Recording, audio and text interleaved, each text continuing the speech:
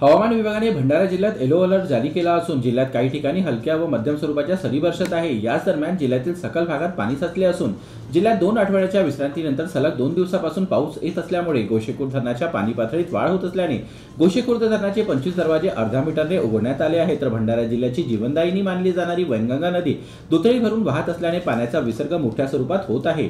यात भंडारा येथील वैनगंगा नदी शेतकऱ्यांच्या पाच ते सहा म्हशी वाहून गेल्याची घटना देखील घडली. जीबी न्यूजचे प्रत्येक अपडेट मिळवून घेण्यासाठी तुम्ही आमच्या चॅनलला लाईक करा सबस्क्राईब करा आणि शेअर करा. तसंच बेलायकनला सुद्धा प्रेस करा. आपला जिल्हा आपली बातमी. GB news Bhandara.